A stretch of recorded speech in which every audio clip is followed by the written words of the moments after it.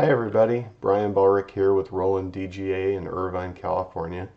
Here to field another question. Uh, this one has to do with our VersaWorks 6 software and the quality settings. So right away I'm running VersaWorks here and got a job loaded in the queue and double clicking it we get the job setting dialog and first one at the top is your media settings. The second one down is the one we're looking at today and that's the quality settings. So right at the top we've got media type and this is where you select the material you've got loaded in your Roland printer. Uh, here's GCVP is a very standard material we run. It's a glossy calendared vinyl permanent adhesive. So this is the profile for that material. This is critical to control everything regarding color and how ink is being laid down on that material. This contains the calculations about each channel of color, the quantity to lay down, uh, the dot size, uh, it, it, it, manages all of that. So this is a very critical component to how your printer operates and the quality you get off of the, uh, the uh, printer. Right below that, this is where we get into the calculations of the quality itself. Uh, whether we want to run at high speed, which has fewer passes to create each band of color, or if we run high quality, which has more passes to create each band of color that are very, very tiny, um, inter, interwoven and that is, does a great job for hiding all sorts of uh, banding issues. But sometimes you need higher speed, sometimes you'll need higher quality. So you've got a client that's doing printing for a mall that is viewed only at two feet away. Well, you're and it's photographic. It's people's face with flesh tones. Um, well, that's the kind of client you're going to run a lot of high quality uh, mode with. Um, then you get a client that's less uh, critical um, maybe he's doing fleet graphics um, that are on a moving uh, vehicle that uh, people don't get a chance to view up close, or it's just not that critical. Now you could easily run into standard mode, save yourself some time, get the jobs done quicker, especially if there's a lot of them, uh, duplication of the job. Then you take it down all the way to high speed and you're getting things done very quickly, but now you're running the risk of actually seeing more banding because the bands are so big that you can actually visually see where they, they intersect each other. Um, the other controls regarding this is, uh, again, just the number of passes. Uh, you'll see here it also changes the resolution of uh, how many dots it's making per inch. So at the high speed, you've got 600 by 600, standard mode is 900 by 600, and high quality is 900 by 900.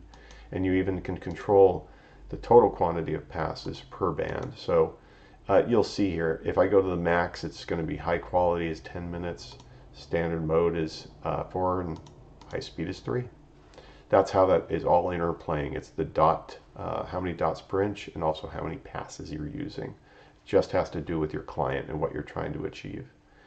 These also work in unison with the print direction mode. So you have to be careful if you're running high speed and you kick it into BiDi, um, you're going to get some really fast results, but you're going to definitely see a slight color shift between bands. Uh, mainly because at such a large uh, band that you're laying down and one right next to it, and it's traveling or it's printing in both directions, we're not able to change the firing pattern to mate the first pass. So uh, that there's going to be differences between the two because dots laying on top of each other, they're viewed differently if they're laying differently on the next pass, and then you get the idea. So something to be careful about is choosing bidirectional at these higher speed modes. Definitely usable for standard and high quality. You can kick these into bi BiDi and you'd be fine because the bands are so tiny that having a slight color shift is almost imperceptible. So just be aware of that. As we move further down, we've got half toning. So this is really a calculation of the patterning that gets used to, to hide or uh, trick the eye into not seeing a pattern. It, it, it's a randomizer if you look at it that way. So uh, the calculation to do so is either simpler or it's more complex. The more complex one is error diffusion, takes a little longer, but it's for that client that's doing pristine photographic work and you want the very best results, error diffusion would be your choice. The interpolation, this really is just to do with if you brought in an 8 by 10 graphic and you're stretching it to a poster or bigger, well, as you stretch something, there has to be a calculation of how to fill in the missing uh, areas of color. So this is that calculation. Um, nearest neighbors, the most rudimentary. Uh, is the next level up of calculation, a little more complex, takes a little longer, but get better results. And bicubic is the most complex, uh, but it's also the most accurate. So again, if we got the client that's expecting a, a, pristine photographic quality, almost continuous tone off of an inkjet, the way to do that is high quality, lots of bands, 16 pass, error diffusion, bicubic being the best calculation for interpolation, and then unidirectional. So those are the highest quality that you can get. Uh, you could at high quality go into BiDi, save yourself a little bit of time, you'll probably be fine. Standard mode, definitely, you know, unidirectional is more important in this case. Again, we can kick it up to error diffusion and bicubic.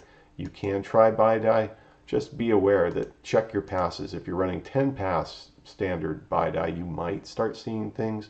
Maybe you need to push it to 12 pass. So again, think about how all those interplay and what you're trying to achieve.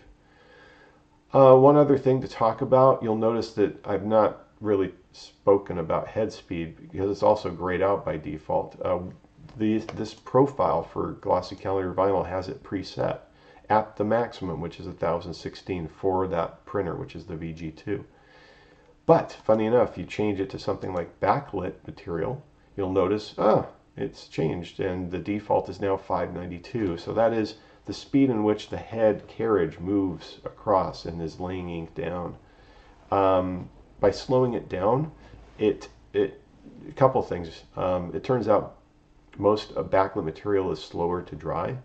So by slowing the head, linear head speed down, it's giving us more time to let those ink droplets set and dry a little bit. Just even, even microseconds of time so that when we lay that next band down right next to it that we don't get intermingling of the dots and we start losing quality. So this is that control. Just a word of wisdom really and if you're ever running maybe someone third party manufactured material and you're running into things where the oh my gosh, it's, it's not drying quick enough.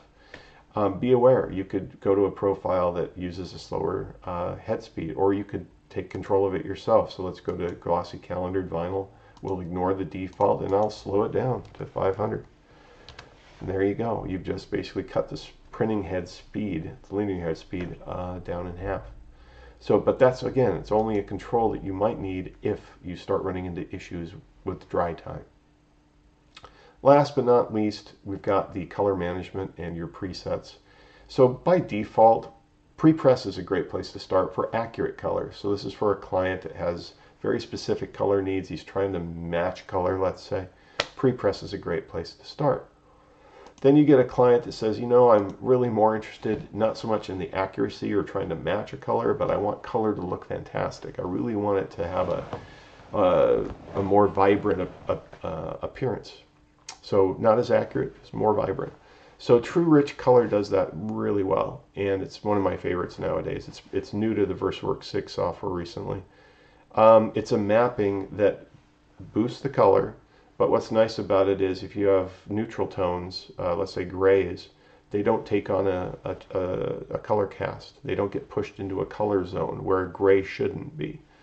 So fantastic way to do that with the preset of True Rich Color. Um, another one I've used very often is Sign and Display. So it's not, it doesn't push color out to the most vibrant that the True Rich does. It's a little less um, vibrant. Uh, it's a little more color accurate. So again, it, it, does a good job of pushing color, but it leaves, it, it still has some good accuracy to it. Another one here is Max Impact. Uh, that one is really uh, the client that just says color is not critical at all. I just want the best red, the best green, yellow, black, whatever. Uh, so this is how you would achieve it. It artificially pushes color out to its most uh, vibrant state. Something to watch out for and don't use this all the time because there's plenty of times when you have like a color gradient. Well, if you use this, a gradient starts to look uniform and you lose that uh, slight gradation in color. It becomes one big block of color because you've pushed it so much with uh, max impact. So just something to be watch, be uh, careful about. I hope this has helped and uh, look forward to seeing you at another video. Appreciate it.